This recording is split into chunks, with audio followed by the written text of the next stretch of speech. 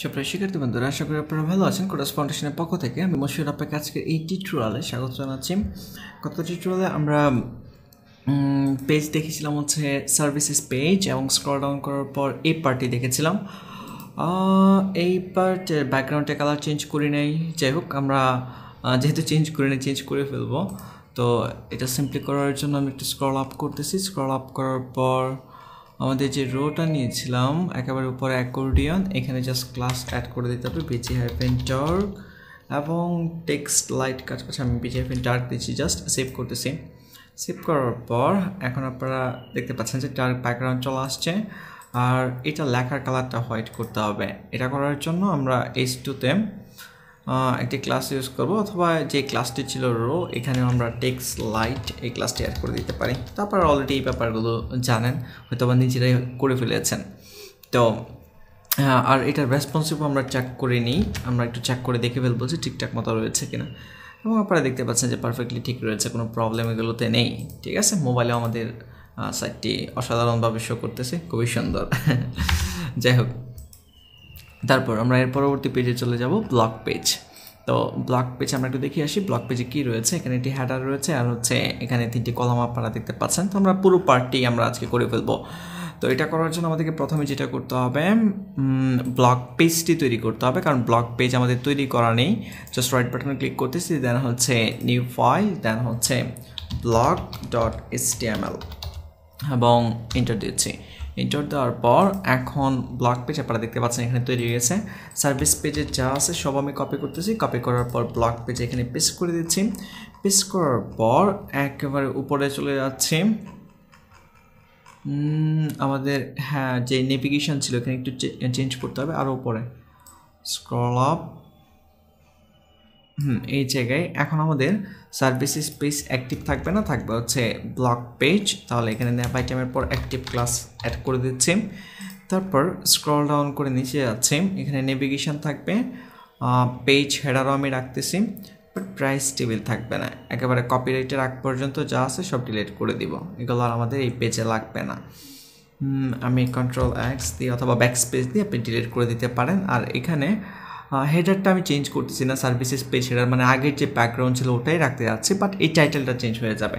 Title এখানে লেখা থাকবে হচ্ছে ব্লগ এবং সেভ করতেছি সেভ করার পর এখন আমরা একটু চেক করে দেখব যে আমাদের ব্লগ পেজের ব্লগ পেজটি শো করতেছে কিনা। ক্লিক করতেছি এখানে এবং আপনারা দেখতে পাচ্ছেন যে ব্লগ পেজটি এখানে শো করতেছে। তো এরপরের যে সেকশন এটা ব্লগের যে আইটেমগুলো এগুলো তৈরি করব আমরা। এগুলো তৈরি করার জন্য যেটা করতে হবে আমাদেরকে এই হেডার পার্টের পরে এখানে আমি আবার একটি কমেন্ট নিচ্ছি চারটা হাইপেন দেন হচ্ছে ফার্স্ট মাঝখানে আমি এখানে কমেন্ট দিচ্ছি ব্লক পেজ অথবা ব্লক সেকশন এটা দিচ্ছি। তারপর এই ঠিক নিচে এখানে সেকশন ট্যাগ নিচ্ছি সেকশন দেন হচ্ছে একটা আইডিও নিয়ে নিব hash block then tab tab দেওয়ার পর ক্লাস নিব, উপরে নিচে আমরা গ্যাপ তৈরি করতে হবে সে পি ওয়াই হাইফেন ফাইভ তারপর এন্টার দিচ্ছি। এন্টার দেওয়ার পর আমাদেরকে কন্টেইনার নিতে হবে। কন্টেইনারের ভিতরে থাকবে হচ্ছে রো তারপর এর ভিতরে কলাম থাকবে। তো এখানে আমি জাস্ট একটি কলাম নিব। সিও আল কল নিচ্ছে। যদিও আপনারা দেখতে পাচ্ছেন যে এখানে তিনটি কলাম বাট এই কলামগুলো অটোমেটিকলি ক্রিয়েট হবে। আমাদেরকে এখানে কলাম নিতে হবে না। তো এখানে আমি ক্লাস নিচ্ছি কার্ড হাইফেন কলামস ঠিক আছে? এই ক্লাসটির মাধ্যমে এখানে এই কলামগুলো তৈরি হয়ে যাবে। তো কার্ড কলামসের ভিতরে আমাদেরকে আরেকটি ক্লাস নিতে হবে, সেটা হচ্ছে কার্ড দেন হচ্ছে এন্টার দিচ্ছি। এন্টার দেওয়ার পর আমাদেরকে এই ইমেজটি অ্যাড করতে হবে, ঠিক আছে? তো কার্ড ট্যাগের ভিতরে কার্ড ক্লাসের ভিতরে, এখানে প্রথমে আমি আইএমজি ট্যাগ নিচ্ছি।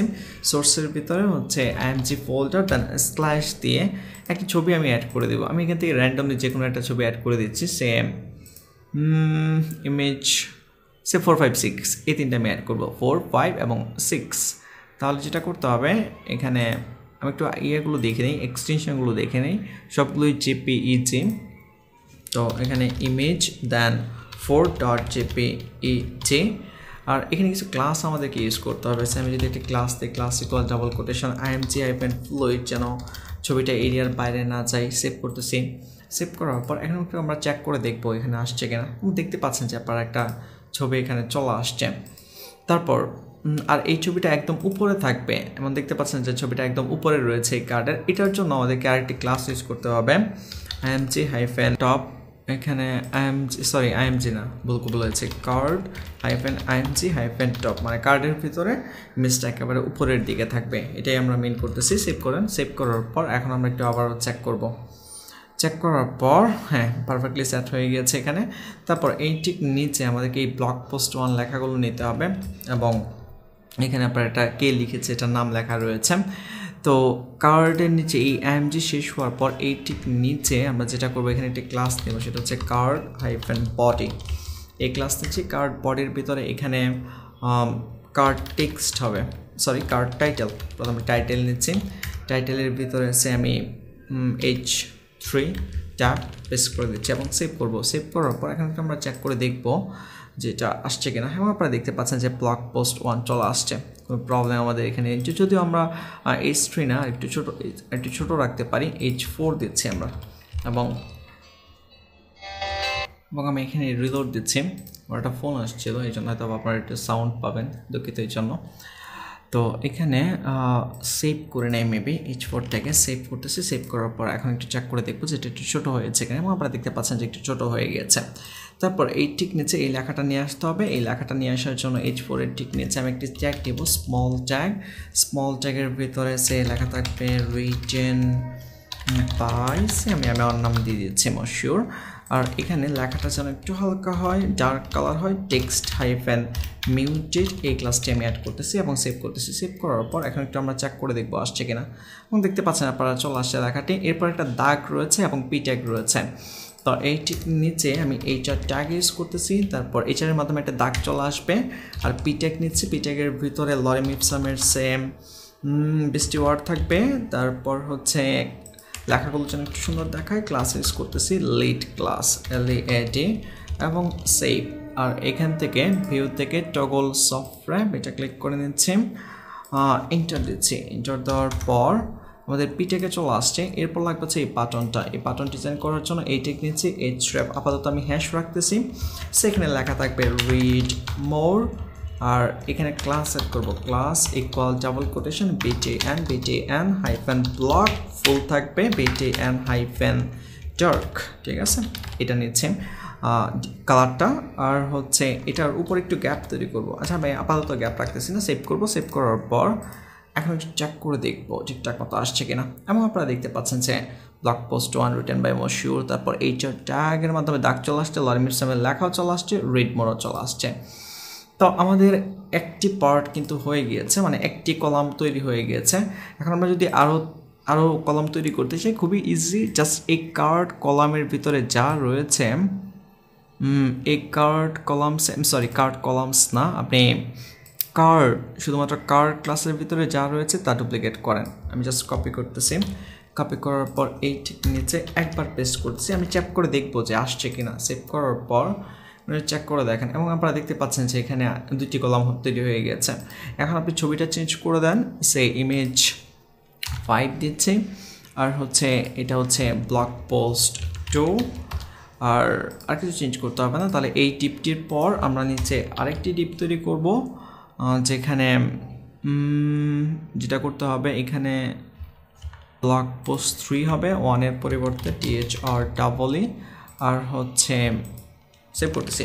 সেভ করার পর এখন একটু চেক করে দেখব। যদি আমরা ইমেজটা চেঞ্জ করে নিই ইমেজ চেঞ্জ করতে হবে। আইএমজি এখানে সিক্স দিয়ে দিচ্ছে সেভ সেভ করার পর আবারও চেক করব। তারপরে দেখতে পাচ্ছেন যে এখানে এখানে ইমেজটির সাইজটা ছোটো। এই ইমেজের সাইজটা ছোটো, এই জন্য ছোটো হয়ে গিয়েছে। তারপর যদি ইমেজের সাইজগুলো প্রত্যেকটা সমান থাকে, তাহলে পারফেক্টলি শো করবে। আমি এটা চেঞ্জ করতেছি, দুই নাম্বার যে ইমেজটা রয়েছে, এটা চেঞ্জ করছি রিটার্ন বানানো হয়নি। যাই হোক, আমি একটু পরে সবই চেঞ্জ করে ফেলব। ইমেজ ফাইভের পরিবর্তে সেখানে ইমেজ টু দিচ্ছি, আর এখানে প্রত্যেকটাতে রিটার্ন বানান আমি ভুল করেছি। আমি ঠিক করে দিচ্ছি এগুলো return W R I double T E N then হচ্ছে স্ক্রল আপ এখানেও ডাবল টি দেন সেভ তারপর এখন আমরা একটু চেক করে দেখব। হ্যাঁ এই ইমেজটাও ছোট, এটা আবার একটু বড়। যাই হোক, প্রথম যেটা ছিল ওটাকে আমি চেঞ্জ করে ফেলতেছি।